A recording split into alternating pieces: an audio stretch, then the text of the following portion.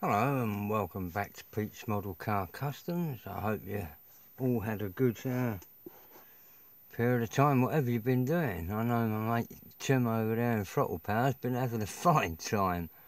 That is one wicked 57 he's just posted. If you haven't copped that, you've got to link up to Throttle Power. He just gets some excellent footage from his local drag strip. He's a Tri-Five nationals. You can't beat it, mate. Brilliant stuff.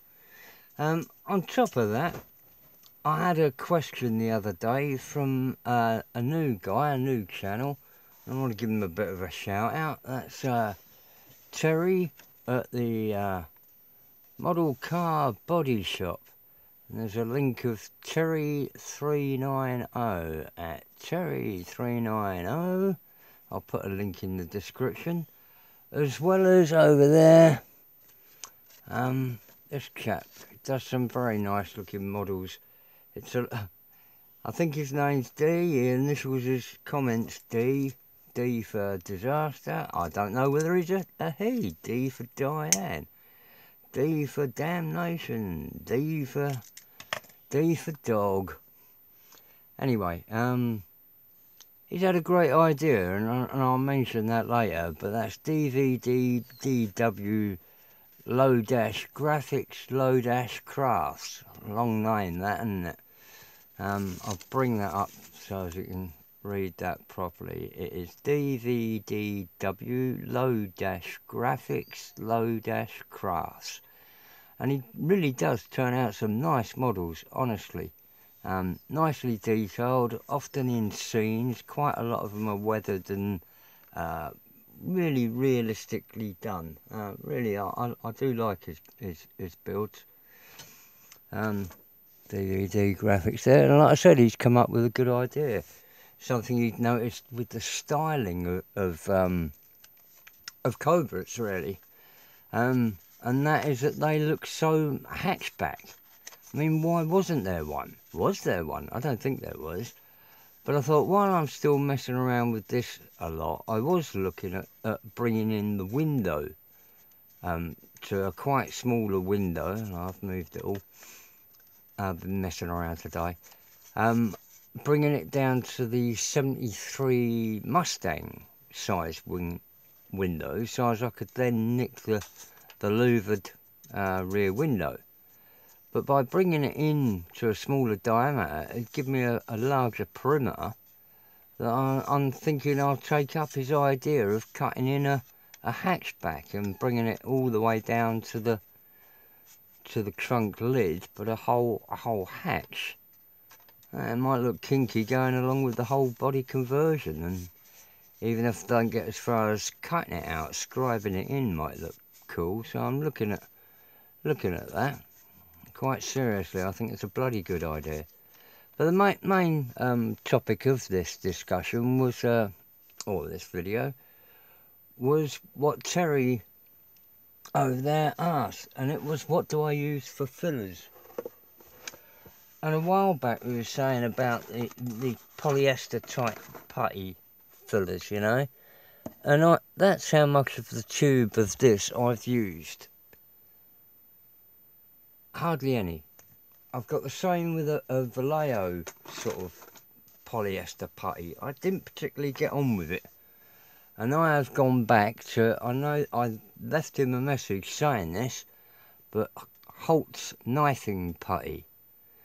Now this this is a British company, and I know they sell um, in Europe, but I don't know whether they sell in in America. Um, but there must be a similar product in the States for filling small scratches and stone chips and the like, as it says on the bottom. There must be a similar product. And, and it's a, a killer on the loose again. Just give it a little squirt. As you can see, I've got a crusty old knife that I, it's a, you know, tube it air dries pretty blooming rapidly. Um, if I just grab this, I can. I've got a little seam down there. Where was it? The light was catching it a minute ago. You've got to move fast when using it because it does go off. You know, it sets quickly and might eat into your paint. But when you're doing it at this stage, it doesn't matter if it eats into the paint. It, you want it to grip. In fact, it'll eat into the plastic. But I want it to grip. So, so I want to get in there really. Um, some of that's coming back out, but I use um, often this this chisel blade. As you can see, it's it's well used, and I want to get the crest line back, which I'll work on later. I want to get the keep the Coke bottle line, but I work rapidly with it. This stuff costs for a quite a chunky tube. It's 100 grams, probably costs about a fiver whereas a similar um, modelling based product will be substantially more um, per weight. Also I use a, a sprue glue, plonk that down, get that out of the way. There's the other knife I predominantly use and that's a curved blade just get in wherever I want to get in but for the moment I'll leave that as that.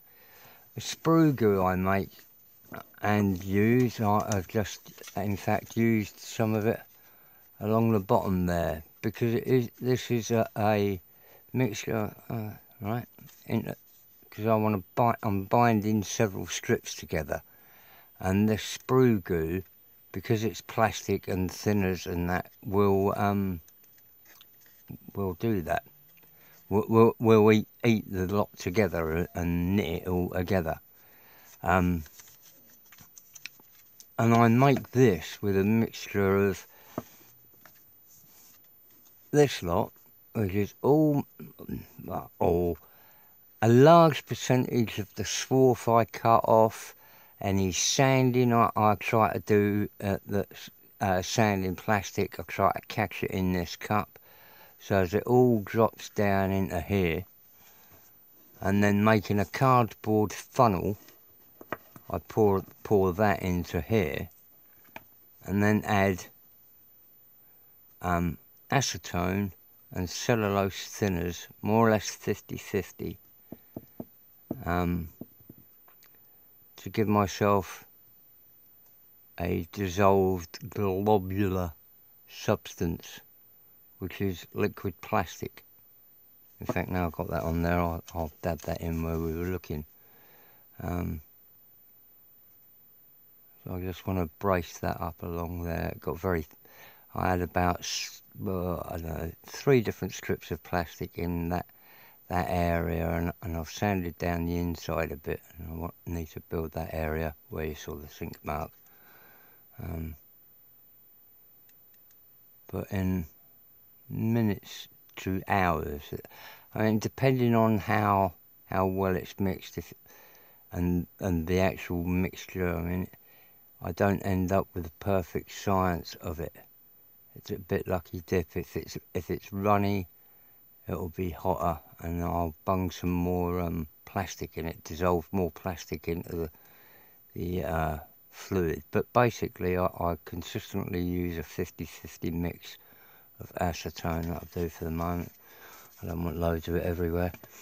Um, but this is what I, I use predominantly. These two fillers apart from that if I'm doing something like this I want to try and not do filler try and get my panels to work to the most part to get plastic to plastic as a solid mass together um, also I, have got this sort of hard rubber and this went, went rubber sheet. Uh, this was either from a car mat or something like that or a mud flap for a motorcycle. Um, it might have been part of a battery tray liner.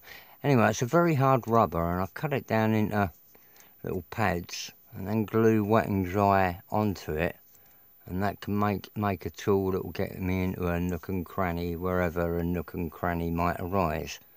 You know, same with getting a bit of shape there if you want a curvature. It, it won't last very long, but it don't matter. You just peel it off and stick on another piece of tape. It costs but uh, another piece of wet and dry. It also gives me a flat, firm surface for any sanding I might be doing Um, thus, you know, it, it's much better than just using your hand, but you can get a nice curvature on it. You know, with a bit of force, you can, yeah, and get your curves.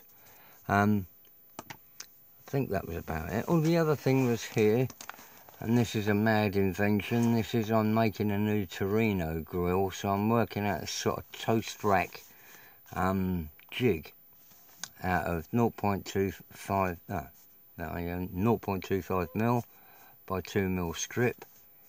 In different heights of strip running along like a barcode with an angle piece at the end supporting it but I want to put in a plate as well to sort of you know, give me an upright backing plate and then make this jig against that to give me um, something about maybe three inches wide toast rack idea. Um, of I'll make uh, a pillar at each end and a, and a couple of central pillars because I want to be able to vary the height that grills and sort of taper it. They're not going to be vastly bigger. They're just trying to include a taper in the front of these are a tapered grill, not a flat face grill, you know. But either way, I'll be able to lay in strips of, of uh, strips of strip into these coming coming at me, and then put on a backing strip onto the back of those to tie them all together. Um, you know, like uh, ding, ding, ding, ding, ding, and then draw one across, glue one across. And and then that will be able to be lifted out of this jig and give me a Torino grill hopefully. Anyway that's it for now thank very much for anyone who's watching. Uh, thanks to all the subscribers. And thanks to all the model makers out there who make this world such a fun place to be in. Best wishes from jolly old England. Bye